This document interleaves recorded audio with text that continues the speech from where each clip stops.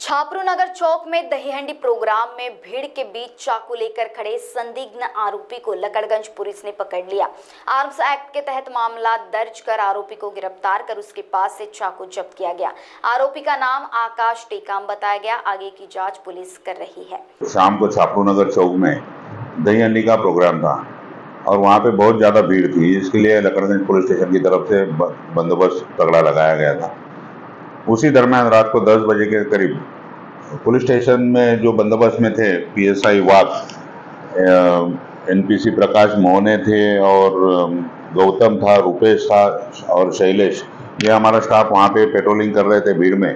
तभी एक suspected person दिखाई दिया और वो बार बार अपने कमर को हाथ लगा रहा था। तो उसके ऊपर डाउट आया।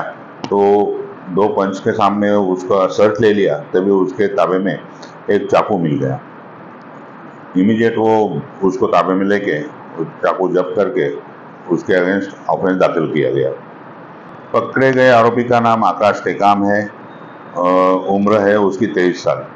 अभी आजकल छोटे मोटे रीज़न की वजह से कुछ ना कुछ गंभीर घटना घटती है। तो ये भी इससे कुछ गंभीर घटना घटने के आसार थे।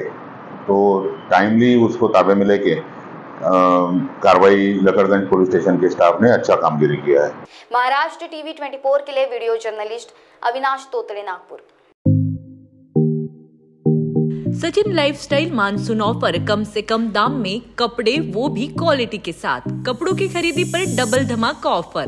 Buy one get one free के साथ साथ अब कपड़ों की खरीदी पर 50 प्रतिशत की छूट। सचिन लाइफस्टाइल का धूम धड़ाका सेल जहाँ मिलेंगे संपूर्ण कपड़े। बचपन से लेकर पचपन तक। तो देर किस बात की? पहले आइए, पहले पाए।